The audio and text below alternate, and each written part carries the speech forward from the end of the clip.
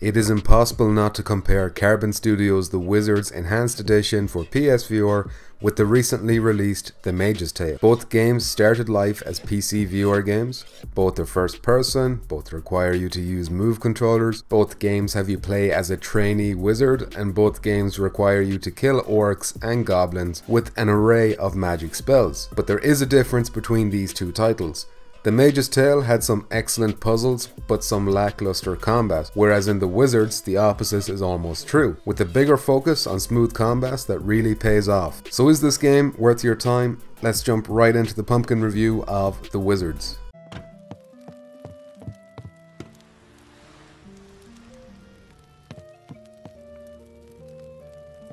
So the story sees you, a young wizard, having his country of Meloria being invaded by dark forces. Now, these dark forces mostly take the form of goblins and orcs, though later on in the game they do diversify themselves a bit more, and there's also a big bad wizard and a couple of bosses to be defeated along the way, before you can finally put an end to the invasion of your country. Now on your journey you'll be guided by a disembodied voice who acts as tutor, narrator, and as the game's only voiced character. This story is not Oscar based by any means, but it gives you an excuse to toss fireballs at orcs, so it does its job. Light the lanterns to mark your way. I'd hate to start going in circles here.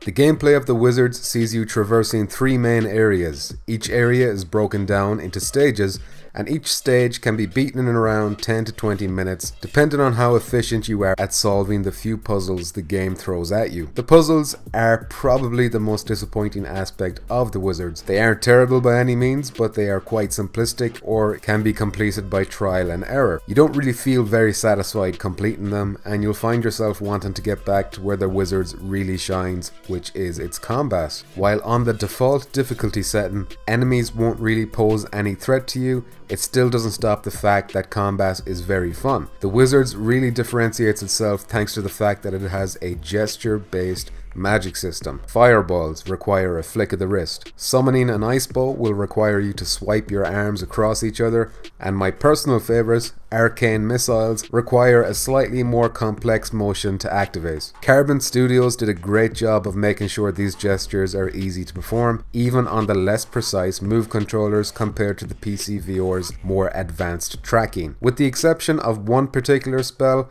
which I never really got the hang of casting correctly, but I was never sure if that was a move controller issue or a me issue. They also did a great job with giving players plenty of choices in how they play. Standing or sitting, height adjustments, dominant hands, blinders, smooth and click turning and locomotion, all the comfort settings you could possibly want are here and Carbon Studios should be applauded for not overlooking these things like so many other studios still do to this day. While the Wizards can be completed in just a few hours, the game has been designed with replayability in mind. Now not only is there an arena mode that will give you unique challenges to complete to test your skills with, but the game also has fate cards. Now fate cards are gameplay modifiers which you can just add in to whatever level you want to play in the hub area. Fate cards can be used to increase or decrease the difficulty and you can find them hidden throughout the game world if you have a keen enough eye. Playing with fate cards will have an impact on your end of level score, so increasing the difficulty will add a multiplier while decreasing it will do the opposite. So for those of you who are looking to beat their friends in the leaderboards, fate cards will be key. Unfortunately, the Wizards does have a couple of bugs that may put a dampener on your enjoyment. During my playthrough, I encountered enemies who would freeze in place, for example. But overall though, the gameplay was very smooth and the gesture based magic system was enough to keep me pushing through the short campaign.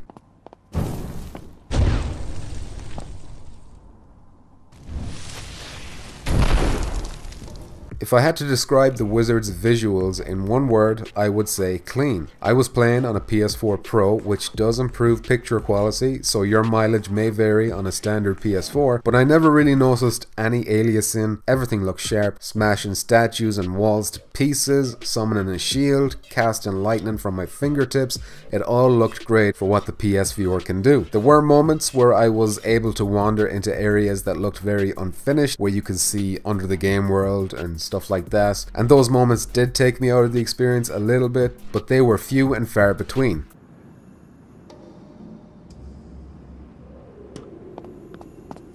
Audio was a little disappointing in the Wizards.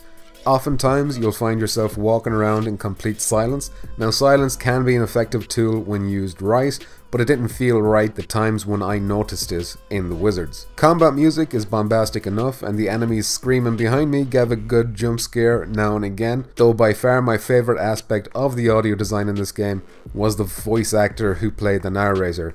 His voice was a perfect fit for the role of wise mentor, and he delivered his lines believably.